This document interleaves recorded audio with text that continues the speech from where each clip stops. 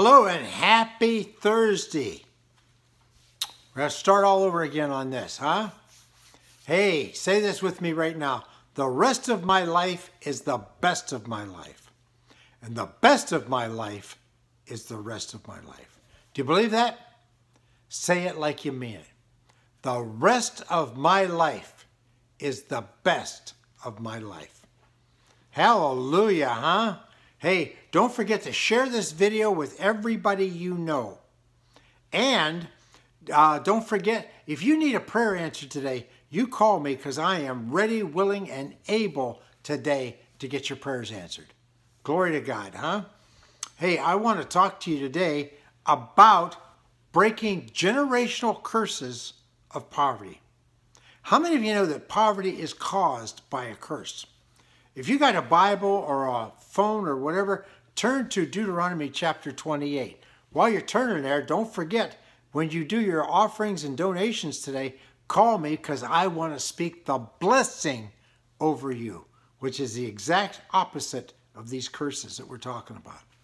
Deuteronomy 28, verse 29 says, And thou shalt grope at noonday as the blind gropes in darkness, and thou shalt not prosper in thy ways, but shall be only oppressed forever.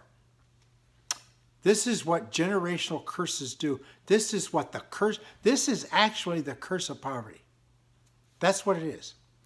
Thou shalt grope at noonday as the blind gropes in darkness. In other words, you're just trying to feel your way around the world. And thou shalt not prosper in thy ways. You ever feel like that is on you? You ever feel like you're just struggling and struggling to make a living? That, that, that you got pockets with holes in them? That everything you get just goes away? It's a curse of poverty. There are nations, countries that are living with this curse of poverty. There are areas of our country that have curses of poverty in there. One comes to mind is and don't get mad at me if you live there, but it's Appalachia. That area is very has been poverty stricken for years. The reason is because a curse of poverty has gotten in there. Amen. Thou shalt grope at noonday as the blind gropes in darkness, and thou shalt not prosper in thy ways, but shall be only oppressed. Oppression is caused by the devil. Poverty and sickness are punishment for the original sin. And Jesus took these punishments on him when he went to the cross. To allow the devil to put poverty on you is double jeopardy. You're paying the same price for the original sin that Adam that Adam sinned. You're paying the same price that Jesus paid, and believe me folks, he doesn't need your help to pay that bill. He picked up the check. He took the punishment.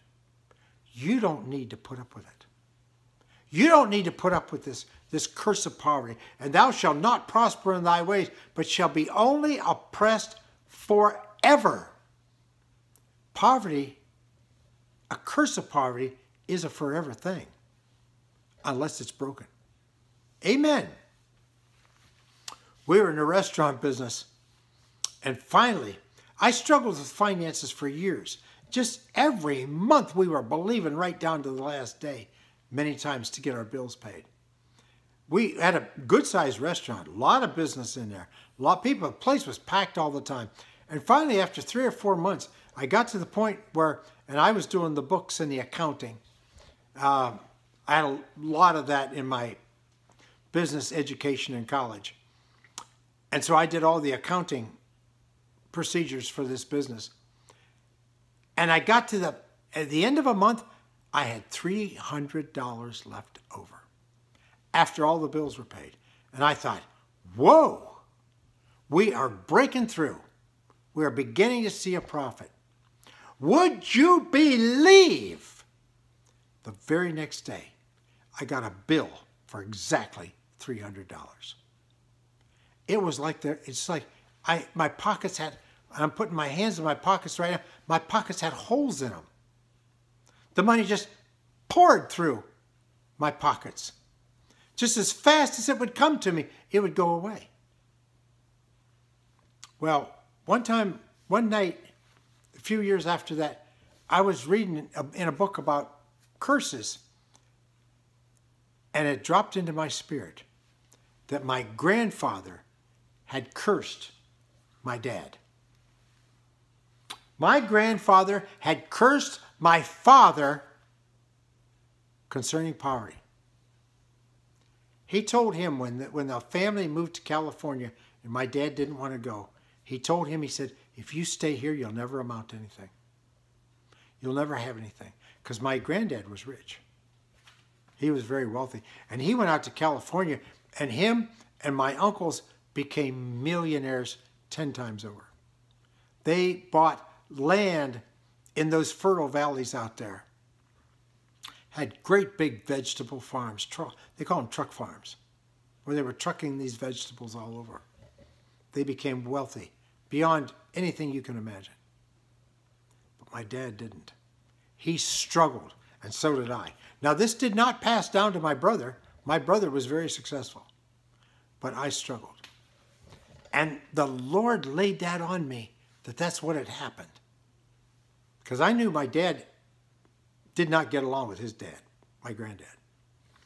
I went outside on the street at midnight, stood in the middle of the street. I said, In the name of Jesus, I break the curse of poverty in my life. And I'm telling you what, people, it felt like somebody reached down and pulled a heavy, wet blanket off of me.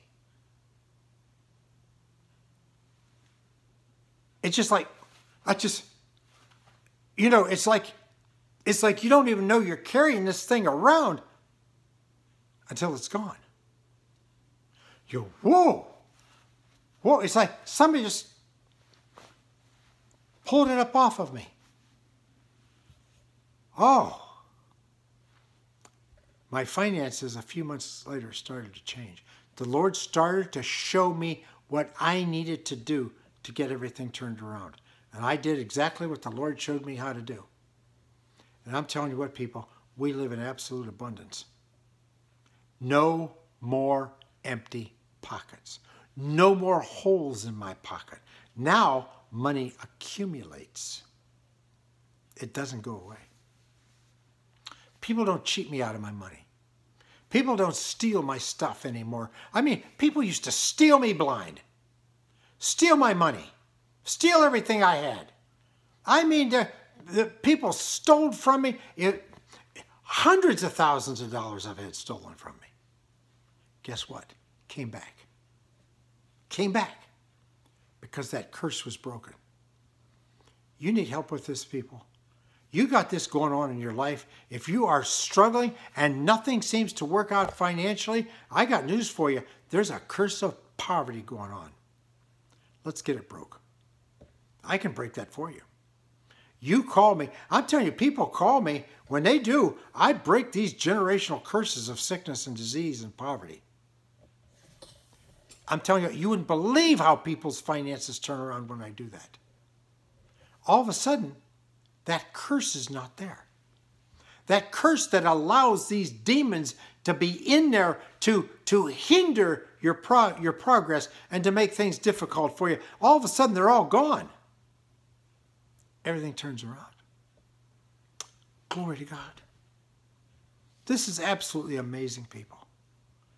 Please, if you got this going on in your life today, you call me today. Go to my website, increasenow.com, get my phone number, and call me. Say, Pastor Jim, please break that curse of poverty in my life. I will do it.